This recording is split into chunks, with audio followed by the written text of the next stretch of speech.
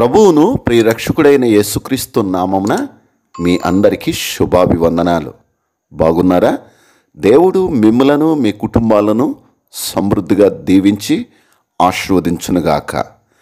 ఈ లోకములో మానవుడిగా జన్మించిన యేసుక్రీస్తు ప్రభు సర్వ మానవాళి రక్షణ నిమిత్తము ఆ కల్వరు శిలువలో మరణించి సమాధి చేయబడి మూడవ దినమున తిరిగి లేచి ఉన్నాడు. ఆయన జననమును గురించి గనక మనం గమనించినట్లయితే ఎంతో దీనాతి దీనముగా ఎంతో తగ్గింపు మనం చూస్తాము. ఈ లోకంలో ఒక మానవుడిగా జన్మించిన యేసుక్రీస్తు ప్రభువారు దేవుడై ఉండి అలా జన్మించటం అనేది ఎంతో గొప్ప విషయం. ఆయన తగ్గింపు జీవితాన్ని మనం గమనిస్తే అద్భుతమైనటువంటి రీతిగా మన జీవితాలను కదిలించేదిగా ఉంటుంది. అలా తగ్గించుకుని ఈ లోకములో మానవుడిగా జన్మించిన యేసుక్రీస్తు ప్రభువారిని గురించి బైబిల్ గ్రంథంలో అనేక విషయాలు దేవుని యొక్క వాక్యంలో పరిశుద్ధాత్మ దేవుడు ఆయన గొప్పతనమును గురించి ఆయన శ్రేష్టత్వం గురించి బైబిల్ గ్రంథంలో రాయబడి ఉన్నాయి. అయితే వాటిలో ఒక్క విషయాన్ని ఈరోజు నేను మీ ముందు ఉంచాలని నేను ఆశపడుతున్నా. ఎందుకు అనంటే దేవుని యొక్క వాక్యము యేసుక్రీస్తును దీనత్వం గురించి ఎంత గొప్పగా చెబుతుందో ఆయన పరలోక రాజ్యములో ఆయన ఏమై ఉన్నాడో కూడా చాలా స్పష్టంగా దేవుని వాక్యం చెప్తుంది. అలా చెప్పినటువంటి వాక్య భాగాల్లో ఒక వాక్య భాగాన్ని చూద్దాం రండి.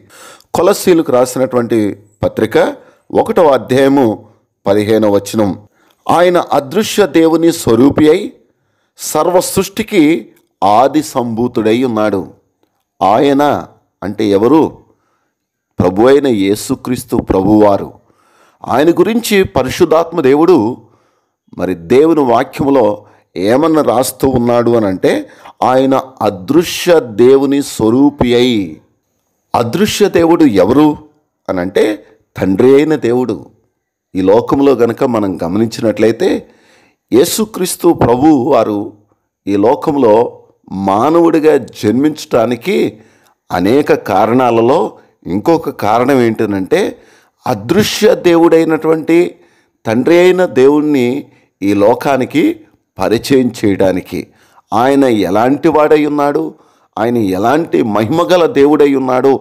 అనేది సత్యాన్ని ఈ లోకానికి ఆయన మరి పరిచయం చేయడానికి. ఎందుకు అనంటే పాత నిబంధన గ్రంథంలో యహోవా దేవుడైనటువంటి తండ్రి అయిన దేవుడైనటువంటి ఆయన్ను మరి అనేక మంది భక్తులు మరి చూడాలని ఎంత ప్రయత్నం చేసినా ఆయన మహామహిమను వారు చూడలేక పడిపోయిన వారు ఉన్నారు సహవాసం చేసిన వారు కూడా కేవలము ఆయన మాటను వింటూ ఆయనతో నడిచిన వారే కానీ ఆయనను సంపూర్తిగా చూసిన వారు ఈ లోకంలో ఎవరూ లేరు.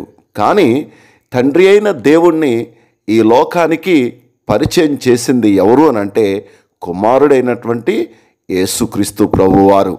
ప్రియ సహోదరుడా సహోదరి ఆయన అదృశ్య దేవుని స్వరూపి అయి ఉన్నాడు.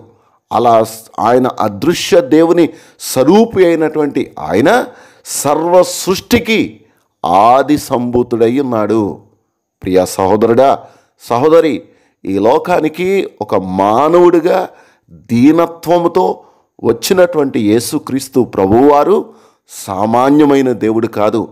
ఈరోజు క్రిస్మస్ ఆనందాన్ని క్రిస్మస్ సంతోషాన్ని నీలోనికి అనుగ్రహించటానికి వచ్చిన యేసుక్రీస్తు ప్రభువారు ఆయన సర్వ సృష్టికి ఆది సంభూతుడై ఉండి ఆయన అదృశ్య దేవుని స్వరూపి అయి ఉన్నాడు. అంత గొప్ప దేవుడు ఈ లోకంలో మానవాళి రక్షణ నిమిత్తం మానవుడిగా జన్మించాడు. అలా జన్మించిన దేవాది దేవుణ్ణి నీ హృదయంలో చేర్చుకుంటే నీ జీవితము కూడా నూతన సృష్టిగా మార్పు చెంది నీ హృదయము నూతన ఆనందంతో నూతన సంతోషముతో నూతన ఆశీర్వాదములతో నింపబడి అనేకులకు దీవెనకరంగా ఉండగలవు. క్రిస్మస్ ఆనందాన్ని క్రిస్మస్ సంతోషాన్ని అనేకులకు పంచే వ్యక్తిగా నువ్వు జీవించగలవని నేను ప్రభును బట్టి ఈ విషయాలు మీకు తెలియజేస్తున్నా. దేవునితో ప్రతిరోజు అనే ఇటు దేవుని సందేశాలు వినుచున్న మిమ్మల్ని అందరినీ దేవుడు దీవించి ఆశీర్వదించి బలపరచునుగాక. ప్రార్థన చేసుకున్నాం పరిశుద్ధుడు అయిన మా దేవ నమ్మదగిన తండ్రి ఈ సమయమందు నాతో మాతో మాట్లాడిన నీ శ్రేష్టమైన మాటలన్నిటిని బట్టి నీకు వందనాలు. మీరు ఈ లోకానికి ఎలాంటి దేవుడై ఉండి మీరు మీ ప్రత్యక్షతను ఈ లోకానికి చూపించుకున్నారో ఈరోజు మాతో మాట్లాడినందుకు నీకు వందనాలు. నీ మాటను బట్టి మా జీవితాన్ని మార్చుకుని ముందుకు సాగునట్లకు కృపద ఇచ్చేయమని ఏసు నామ నడుచున్నాను తండ్రి. ఆమె దేవుడు మిమ్మల్ని దీవించునుగాక.